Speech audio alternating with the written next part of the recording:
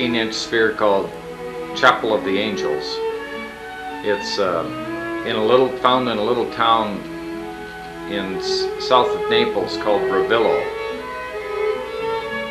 One of M.C. Escher's backgrounds uh, for one of his lithographs that he does.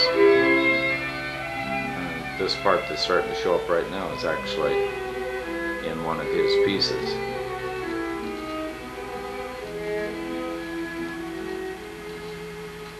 It was carved out of the, the cliffs. You can see some of the cliff remains there.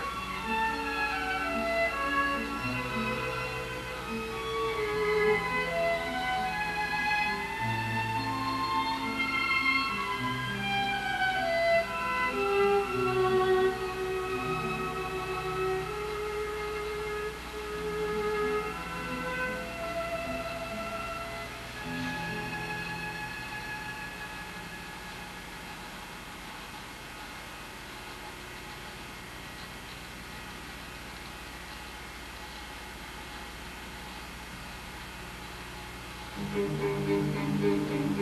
you.